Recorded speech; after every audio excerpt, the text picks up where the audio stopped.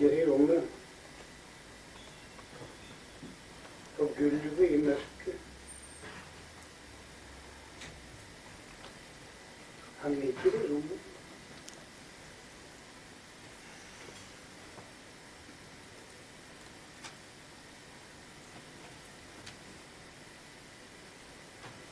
Han ligger i tiden. I tiden som er rommet, og rommets innhold. Han ligger stille, åndeløs, kjenner det i seg. Stemmene i deg er rommets stemmer. Stemmene i deg er rommets stemmer. Stemmene i deg er rommets stemmer, de er ikke dine.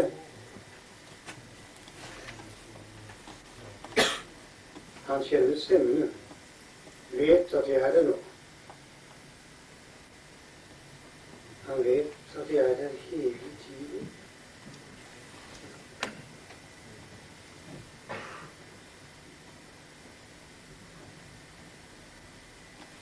Han befinner seg i rommet og ser det rommet han befinner seg i. Han bestemmer det. Hvilket vil si Rommet bestemmer han. Jeg kan se det som er i rommet, bestemme det. Det som er der, sier han.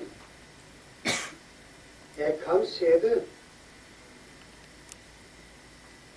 Hadde det vært noe annet i rommet, et annet rom enn det jeg nå befinner meg i, hadde jeg bestemt noe annet.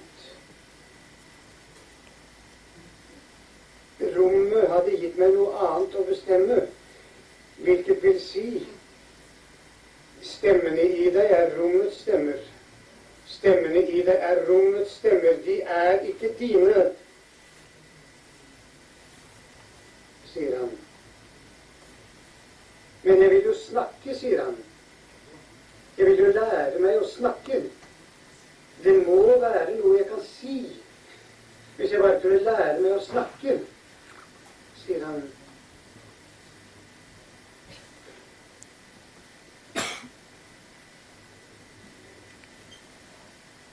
Det det kommer an på, er å bestemme stemmene, sier han.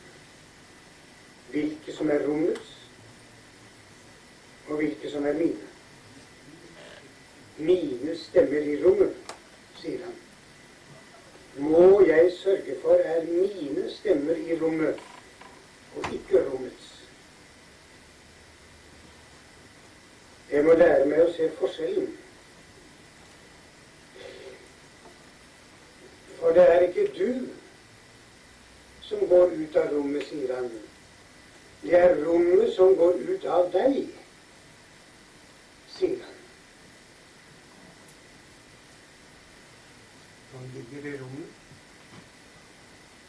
gulvet i mørket.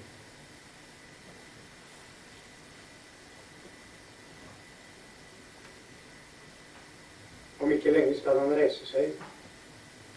Han har reist seg før. Han reiser seg hele tiden. Han ligger i rommet på gulvet i mørket. Han reiser seg hele tiden.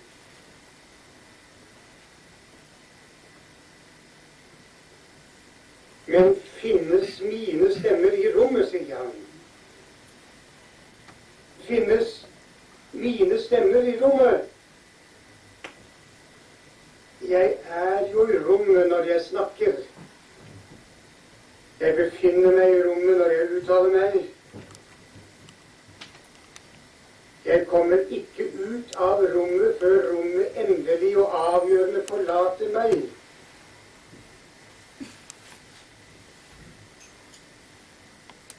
Og da er det jo for sent.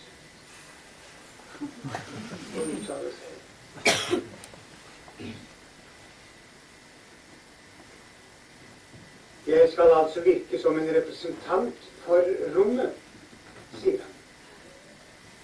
For det rommet jeg en viss tid har befunnet meg i, og skal befinne meg i, sier han. Skal jeg vitne, sier han.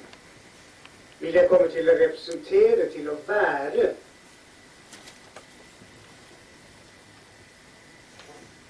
Enten jeg vil eller ikke.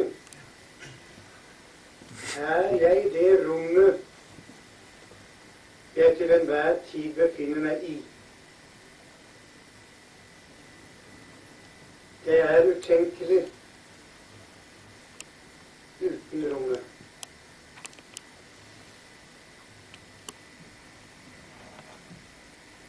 Om ikke lenge vil han reise.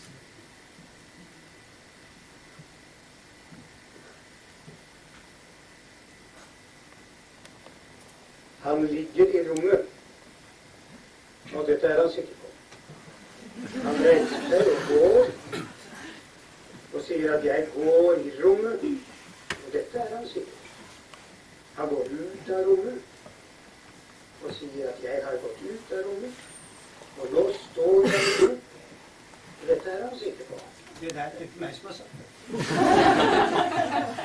Jeg er her, uansett hvor jeg er, sier han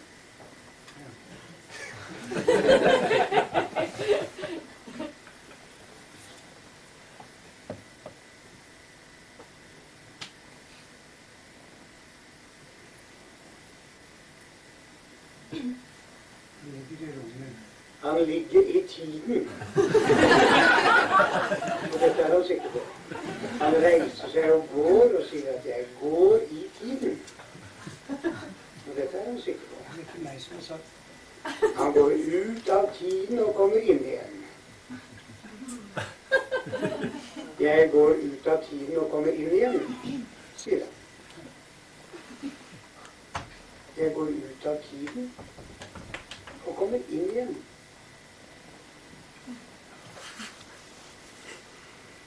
Jeg har gått ut av tiden, og nå står jeg i tiden, sier han.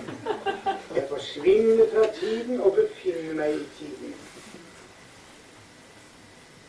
Ved en viss tids mellomrom, sier han. Sånn er det.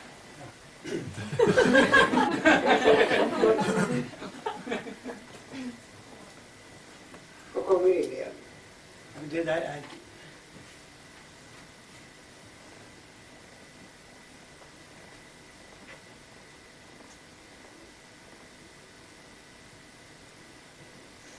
ligger i rommet. Tiden i rommet. Tiden i rommet er Han i rommet Ja. er tiden i rommet.